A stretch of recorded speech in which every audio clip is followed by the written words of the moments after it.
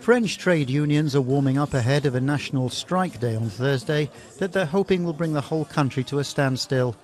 On Tuesday, hundreds of people walked through the heart of Marseille carrying torches and posters to show their outright rejection of the government's reform of the pension system. The plan, unveiled a week ago, delays the minimum retirement age from 62 to 64 by 2030 and eliminates most of the current special regimes. Speaking in the National Assembly, France's Prime Minister insisted the country has no choice but to do it. The number of working people compared to the number of pensioners is falling.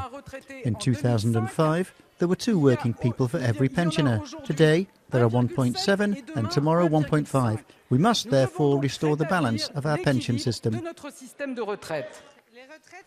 The left is totally opposed to the government's initiative, which was included in the programme on which President Emmanuel Macron was elected.